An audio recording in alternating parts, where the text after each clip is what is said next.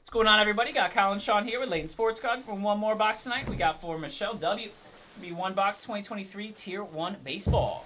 Tier 1 Baseball. Let's see what we got. I stopped by the Wawa last night actually and grabbed like a little six inch sub. It's pretty good. There was a lot of people at the Wawa last night. I don't know what's going on there. They're probably getting started with their day though at 2 a.m. We were ending.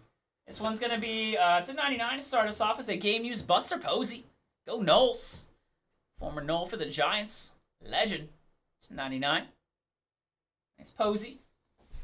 Got an auto there. It's gonna be a throwback auto of Torii Hunter to 175 for the Twinnies.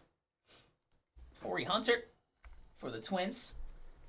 Two eyes. Always throws me off. Torii Hunter.